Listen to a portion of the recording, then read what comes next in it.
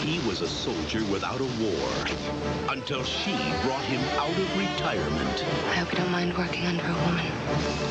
Now he's going back to duty, back to danger, Keeps going and going. yes, and back to her. Kiss me like you've never kissed me before. Ah. Hot Shots Part Deux, rated PG 13. Starts Friday at theaters everywhere.